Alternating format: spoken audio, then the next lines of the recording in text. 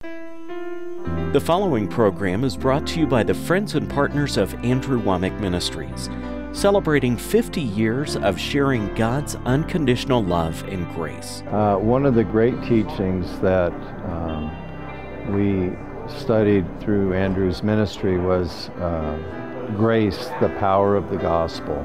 It was profound, and I got such revelation off of that that it just changed my relationship with God. It changed the way I looked at myself, and it, it was uh, just an incredible experience when I when I received that revelation through Andrew's ministry.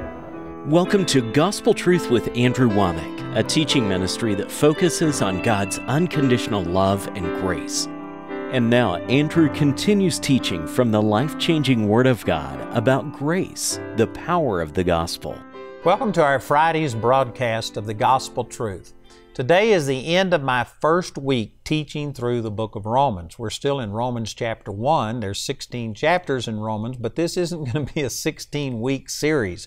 I'm going to speed up, but I've been really emphasizing Romans chapter 1, verses 16 and 17. To me, this is kind of like the nail that holds everything else. You know, this is the uh, linchpin of the whole teaching that Paul did in the book of Romans. It's all about the gospel, talking about the grace of God available to us on an unearned, undeserved basis.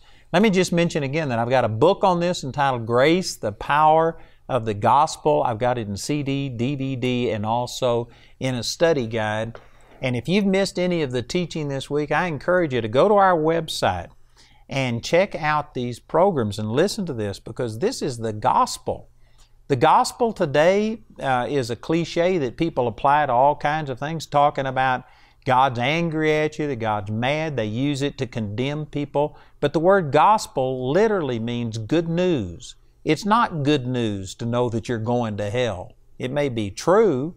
It's not good news to know that you're a sinner. It may be true, but it's not good news. The good news is specifically designating the fact that even though there is a hell, and then even though we have all sin and come short of the glory of God, that God placed our sin upon Jesus and He offers us right standing with Him, not based on our performance, but just based on faith receiving what Jesus did for us. That's the gospel. That's the nearly too good to be true news unto salvation.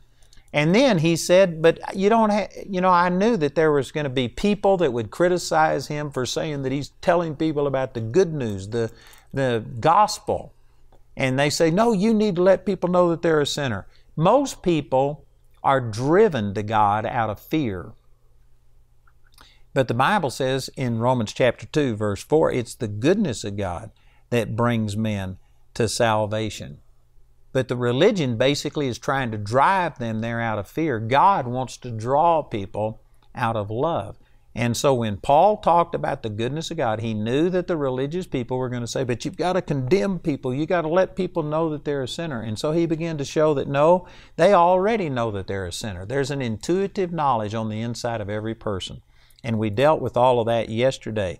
And then in the rest of Romans chapter 1, he basically shows that everybody is already guilty by their own conscience. They know in their heart that there's a God and that they know that they have come short of being the person that God created them to be. So there's this intuitive knowledge that condemns every person.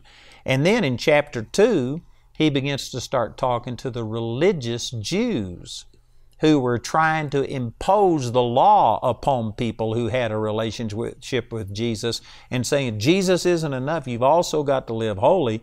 And he began to start showing in chapter 2 that the religious Jews were doubly guilty because they not only had the intuitive knowledge of God and of right and wrong in their heart, but they also had the written Word of God, and that law just amplified this guilt and stuff. So they were guilty by their conscience and the written law of God. So they were doubly guilty.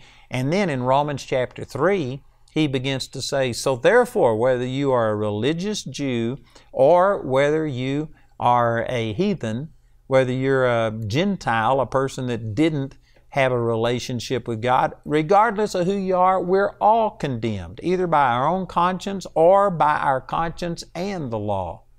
So, religious, non religious, we're all the same. All have sinned and come short of the glory of God. That is basically a summary of the first three chapters of the book of Romans. But let me just go back and there's some things here in Romans chapter 1 that I want to deal with because this really speaks to our situation today. Today, we are seeing our society going in a direction that is completely ungodly. And the book of Romans, chapter 1, if people understood this, I guarantee you it would just stop a lot of the foolishness that's happening in our society today. So I've already talked about verses uh, down through verse 20. In verse 21, it says, Because that when they knew God, they glorified Him not as God. Now, I mentioned this at the close of my program yesterday, but I have an entire series on this entitled Discover the, uh, let's see, the four keys to staying full of God. And uh, you can get that, and it'll go into a lot of explanation. Five teachings on this one verse. But this is basically saying that even though there is this intuitive knowledge of right and wrong, all unrighteousness, all ungodliness is shown in verse 18. It's revealed in them in verse 19. In verse 20, it says they even understand His eternal power and Godhead, and it's clearly seen. But in verse 21, he says that you can walk away from it. You can deaden yourself to this intuitive knowledge that God put in everybody. And the way you do it is to not glorify God Man, there is a lot in that. Again, I would encourage you to get that series on the four keys to staying full of God. But they don't glorify God, they aren't thankful, they become vain in their imaginations, and their foolish heart is darkened. And then look at this in verse 22. It says, Professing themselves to be wise, they became fools. Man, this is so descriptive.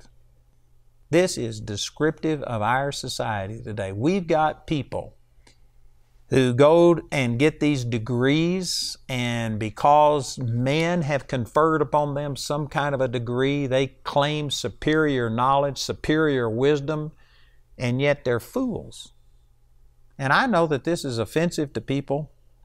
I'm not trying to offend people, but I'm telling you, a person that can't see God in creation is a fool.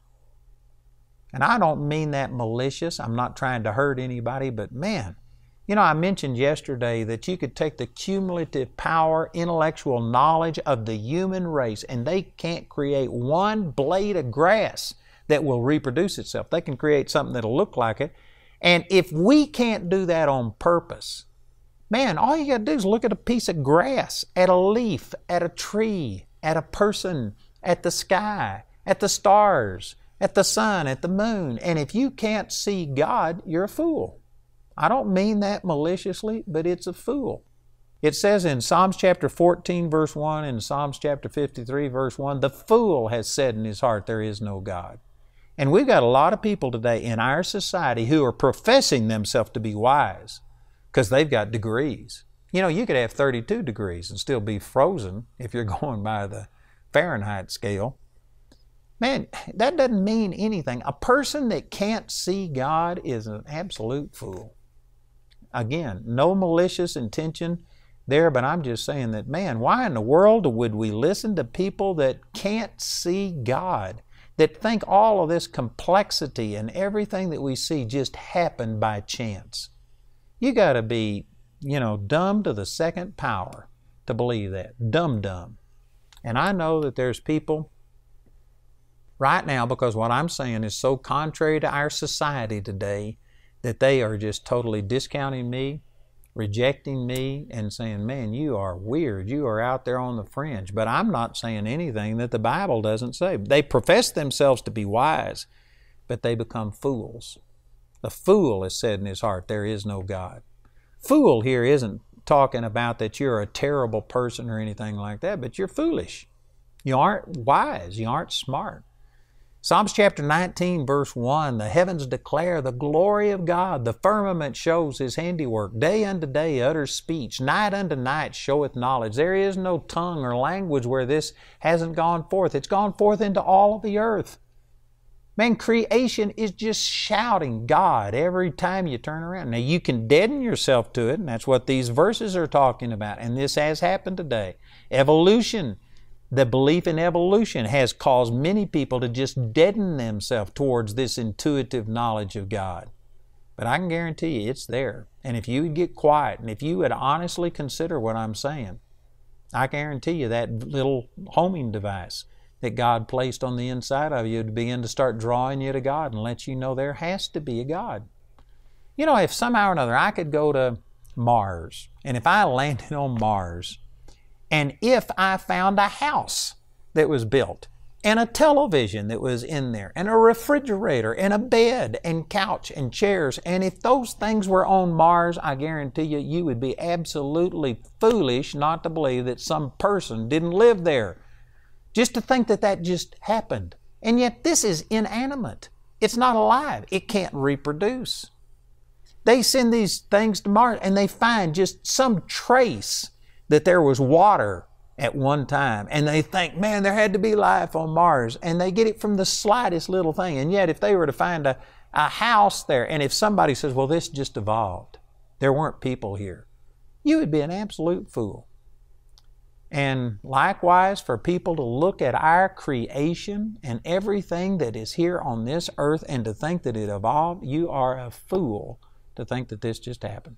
I've had people liken this to I read a thing that if a bomb went off in a Boeing airplane factory, and if this bomb went off, and somehow or another all of those parts that were there formed a 747 jet that could fly, that had all of the seats in there, and everything was totally functional. The chances of a bomb causing all of these parts to assemble and come into a 747 are like infinitely greater that that would happen than that some slime would evolve into a complex being. It's actually a better chance of a bomb going off in a printing press and producing a Bible that is printed perfectly, every word is correct, all of the pages are assembled, it's bound, it's stacked. It's the chances of that happening through an explosion in a printing press are millions of times greater than just chance producing people and all of the animal life and plant life that we see on this planet. I tell you what, you got to have more faith than I've got to believe in evolution.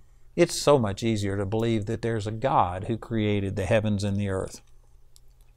And so it says they profess themselves to be wise, but they become fools and change the glory of the uncorruptible God into an image made like to corruptible man and to birds and four footed beasts and creeping things. This is talking about idolatry people building an idol and worshiping it.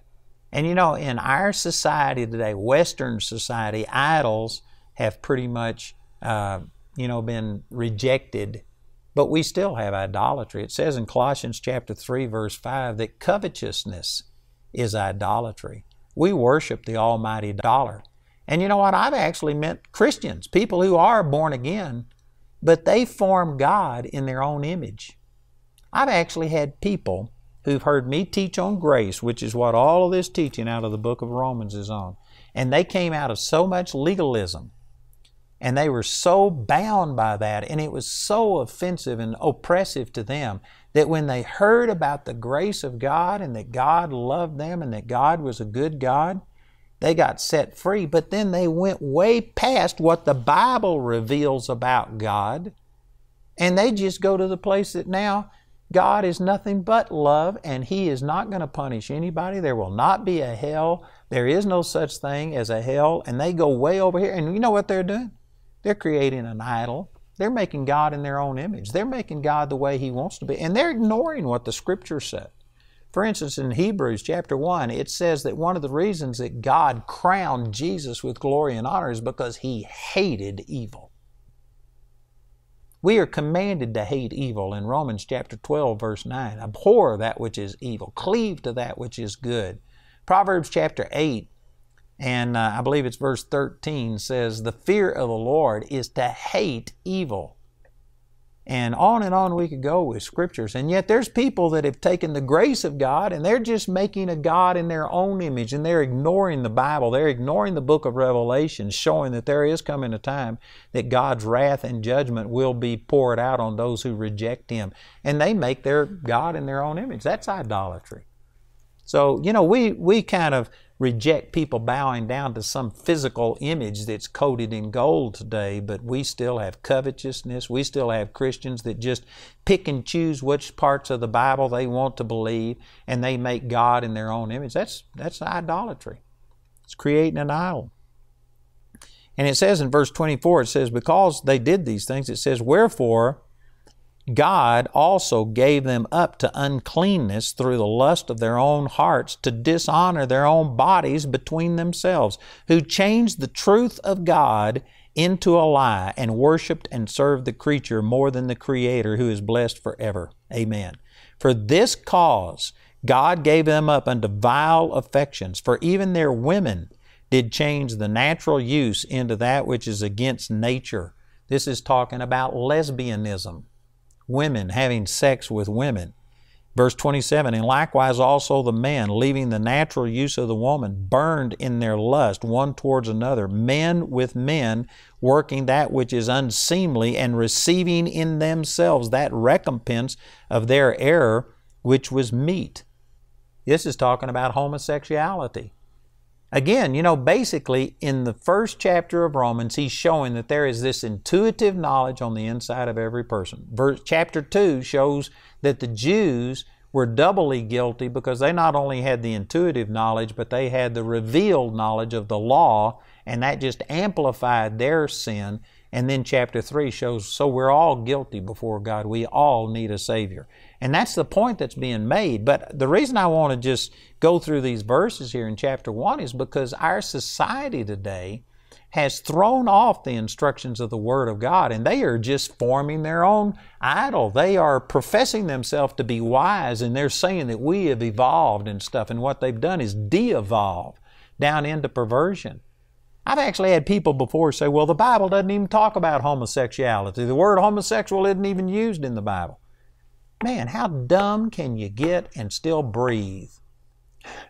Did you know that the word homosexual is only invented a hundred or maybe 200 years ago, max, something like that. It's a modern term, but this is talking about homosexuality. Women burning in their lust towards other women, men leaving the natural use of the woman. They burned in their lust one towards another, men with men working that which is unseemly and receiving in themselves that recompense of their error which was meet. And this is talking about all of this communicable diseases, AIDS, and all of this kind of stuff. This isn't new. Man, homosexuality is a perversion and it causes problems, and that's what this is talking about. And it says that God gave them up. The, it is describing homosexuality as a result of people rejecting this intuitive knowledge of God that was put on the inside of them, and they persist even against God's conviction against their sin. And because of that, God just begins to start taking this conviction away from them. You know, in John chapter 6 and verse 44, it says, No man can come to me except the Father which hath sent me draw him, and I will raise him up at the last day. In other words, we don't seek God just on our own. We only seek God as the Holy Spirit draws us. And if the Holy Spirit quits drawing us, you won't seek God on your own. You know, if you're watching this program today on a Christian television set, there is some curiosity, there is some drawing. You may be full out seeking God with your whole heart, but at the very least, you have a curiosity and you're checking something out you know what that is? That's the Holy Spirit drawing you. you. On your own, you would never watch this program. You would never consider the claims of Christianity. You would never consider God on your own. If you are watching this program, it's because the Holy Spirit is drawing you and bringing you unto Himself. But if He quits drawing you, I guarantee you, and leaves you on your own, then you are in a downward spiral.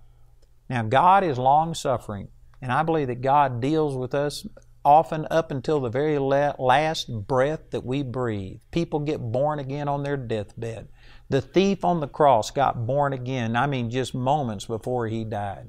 And praise God for His mercy and grace. But there is no promise from God that He's going to give you up until your last breath.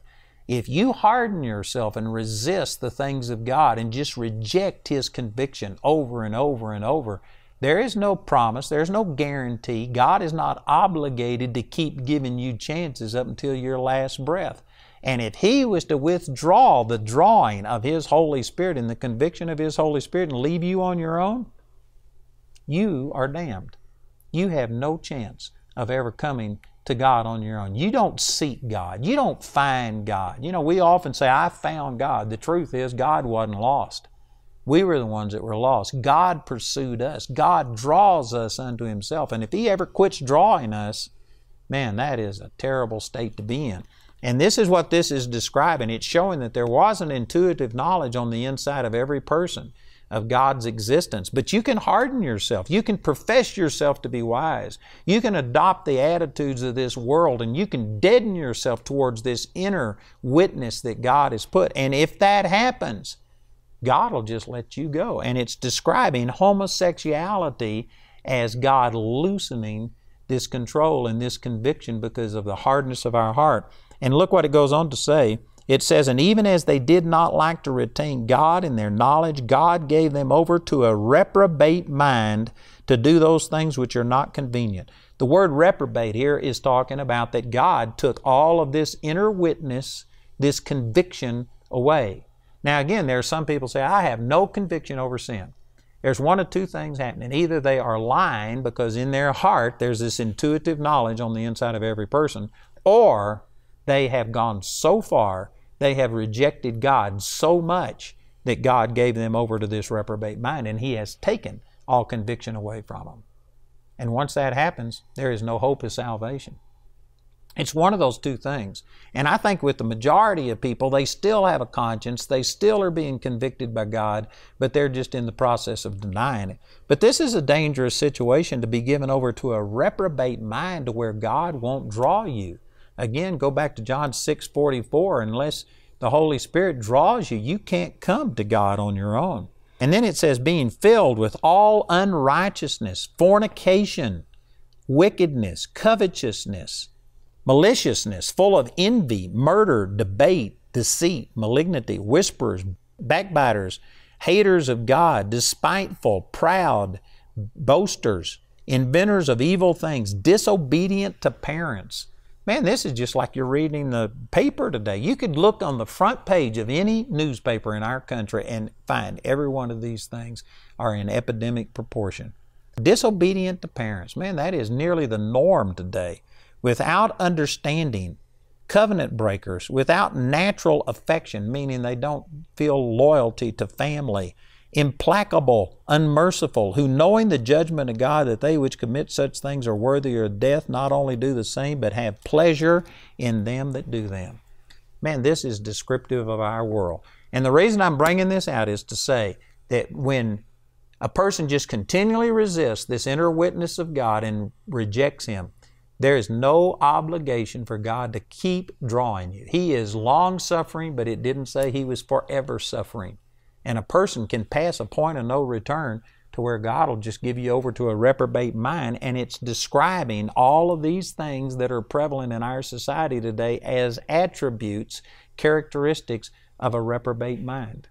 And homosexuality if it's not crossing the line into being reprobate, it's right up against it. It's one of the last steps. And our society is pushing in that direction. Romans chapter 1 condemns this as being a reprobate mind. Man, we need to get on to the Word of God. Let me just once again promote this book. This book is a summary of the first nine, maybe nine and a half chapters of the book of Romans. It would be a blessing to you. I've also got CDs, DVDs, and a study guide. Listen as our announcer gives you information about how you can get this, and then please call or write today. Gain a greater understanding of what Jesus did for you through God's grace when you get Andrew's teaching on Romans titled Grace, the Power of the Gospel. It's available in either a CD or a DVD album made from our daily television broadcast. You can also get this teaching as a book or a companion study guide available in either English or Spanish. Each of these valuable resources are available for a gift of any amount. I really recommend that you get this teaching on the grace of God as taught through the Apostle Paul's teaching from the book of Romans. This is powerful. And this book is entitled Grace, the Power of the Gospel. I tell you, if this doesn't light your fire, your wood is wet. This will just be a blessing to you. I also not only have the book, but I have this study guide that is designed to help you teach other people. Once you understand the true gospel of the Lord, you are going to want to share this with somebody else. And then we also have CDs where I taught this, and then DVDs that were taken from my television program. I tell you, this would really help you. You don't get this in just one time listening to it. You need to go over and over it, and plus, you need to share this with other people. If you'd like a verse by verse commentary on Romans, consider Andrew's Life for Today Study Bible and Commentary, Romans Edition. It includes 470 footnotes that will help you understand God's unconditional love and grace. Or, if you prefer, all of these resources are available as part of the Romans collection. It includes your choice of either the CD or DVD album, the book, the study guide, and the Life for Today Study Bible and Commentary, Romans Edition.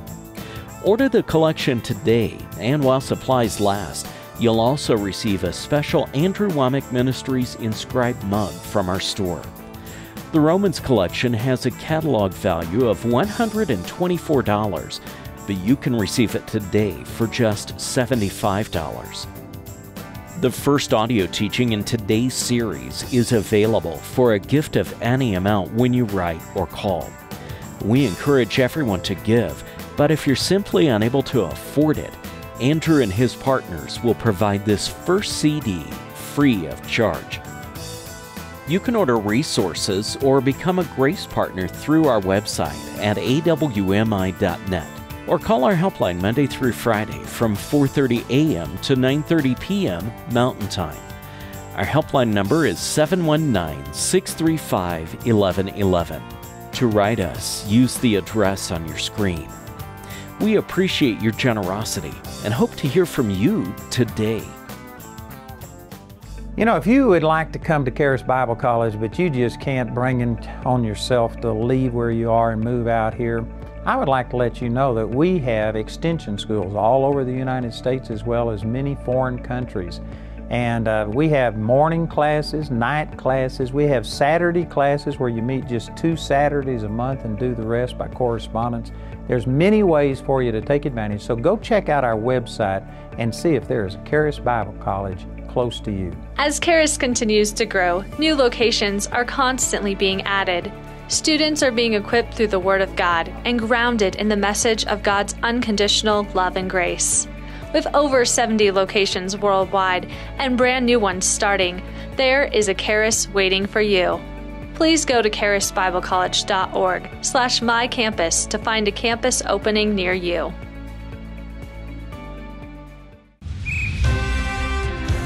Hi, I'm James Brown. Men, I'm inviting you to come to the 2018 Men's Advance at Charis Bible College. Andrew Wommack, myself, and Hall of Fame coach Tony Dungy will be speaking on how to win from within and to train for greatness. You won't want to miss the 2018 Men's Advance. Andrew, Tony, and I want to see you there.